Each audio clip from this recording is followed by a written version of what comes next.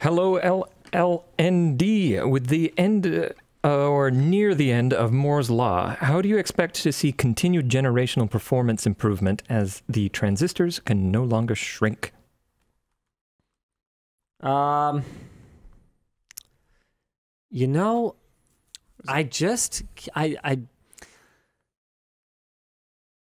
It seems impossible, but they keep doing it. Yeah, they keep finding some lever to turn, some wheel to crank. Yeah. IPC improvements. Uh, yeah. Like there's there's things Well, that. 3D stacking Oh yeah. looks like it is going to be one. huge. Uh, chiplets look like they are going to be huge. we Not might find other ways to expand the amount that you're using, Yeah, not like- necessarily the amount we can fit in a certain area. like uh, okay technology like in intel's foveros chip where they've got—I forget. It's like three or four different manufacturing processes and all these buses that are communicating with each other on this like giant package.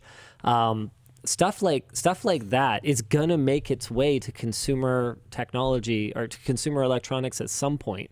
And could be a game changer. I mean, the way that the way that the way that AI is changing the game too is massive.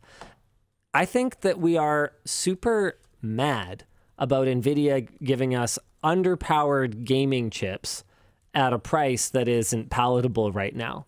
But when we look back, so 10 years from now, when we're playing photorealistic games at, you know, 300 frames per second or whatever on chips that fundamentally haven't changed nearly as much as the 10 years prior, we're going to be looking at it going, wow, they were way ahead. And that was early teething pain for what was ultimately going to be the future. Um, I mean, just just looking at the way that uh, man, I was I was looking at um, oh this new Photoshop feature where you basically just give it an image and then just tell it like, oh yeah, I want a lake in the middle, Yeah. and I want a car, and I want a cloud Yeah. that's shaped like the car. You saw the same article I did. I yeah, think. I was I meant to send it to our, our thumbnail designer, but I forgot. Yeah. Um, I'm sure they're already aware. So Photoshop just has generative AI built in, and if we're doing that in Photoshop now, then give it a little bit more time, and we'll be doing that in real time in games.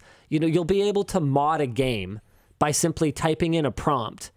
Uh, okay, I want to play Super Mario World, but all of the all of the Koopas Man, are procedurally generated games are going to be a whole little faces with mustaches. ball of wax. Like that's insane. I don't think I've even thought about that before. Yeah, Procedurally generated games don't even have to pre-make the assets. yeah. Like? It's just like I want to play Half Life 2, but all the opponents are donkeys.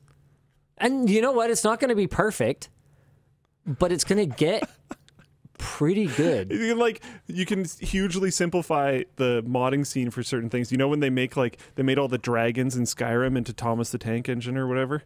I didn't see that, but I love it. That's it's my great. favorite. It's it's, oh yeah. it's a fantastic Amazing. mod. they even like well, yeah when they fly when they fly in you normally hear the dragon roar. They they, they have a train horn. it's very good. It's very good. Um, but you could do stuff like that using this instead. Oh, did you find it? oh, do you man. want do you want sound? No, no, I don't think sound will be necessary entirely. So it's going to land on top of the tower that you're looking at right Oh, now. Spoilers. If you haven't. Oh, come on. It's Skyrim. Yeah. you see it. You see it flying around in the background. It's going to slam down. Boom.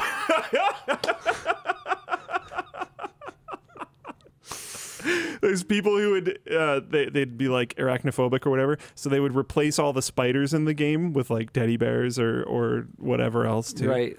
Yeah. Um, so yeah, that sort of thing is only going to get easier, Oh, so good. which is great. Yeah. oh man. That And- would be you know what would be really interesting? Oh man. I wonder if we'll get to the point. You know how we've been waiting for uh or I have whatever. Um for for Skyblivion and Morroblivion?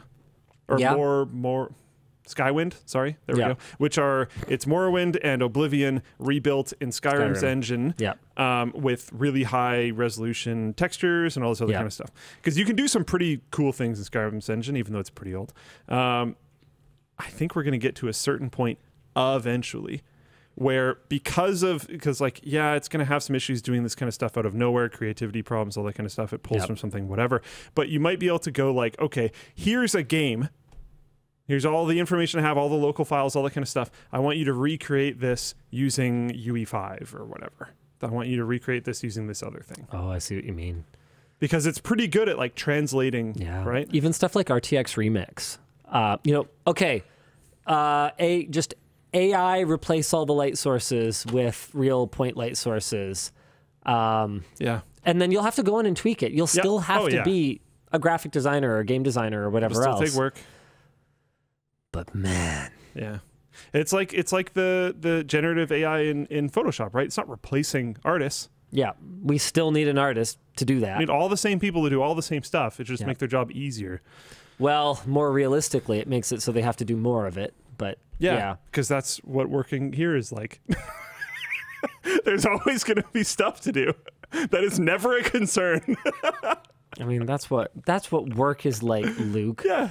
I, I don't make the freaking. I, I was reading a uh, I was I was reading an article. Uh, they they surveyed a I wasn't bunch saying of that in a bad way, to be clear. uh, they surveyed a bunch of Gen Z and millennial people who have sort of pioneered this concept of it's called lying flat in China or quiet quitting in North America of you know the their their top priorities being you know work life balance as opposed to all these other things and then when they continue asking them questions they're like okay right but do, is that a is that a thing and they're like no Is- no, is- actually, I have a second job Oh. hustling because you get bored. the world. Well, no, no, it's just inflation's out Oh, of yeah. control. It- like it's it's not actually feasible. yeah, yeah, yeah. Like you have to point. you have to you have to bust your butt, and so it's this sort of aspirational thing. I I don't know. It's uh, it's a it's a big it's a big challenge. It's one of those things where I, I feel like we we do I think a pretty good job of trying to make it so that people don't have to work outside their forty hours. Um, but It's tough right now. by and large, the way the world's going right now, it's it's not like that.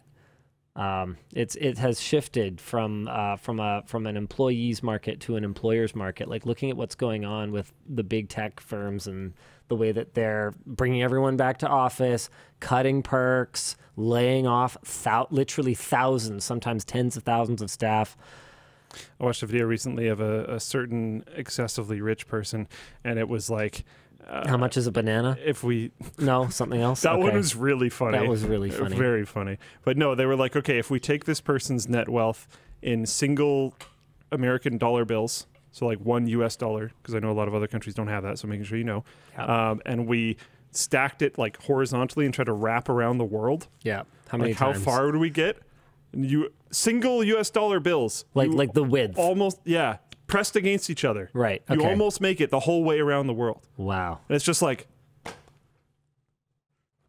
does this make any sense? Like, I, I don't know. Anyways, sorry. We'll get back onto the tech topics.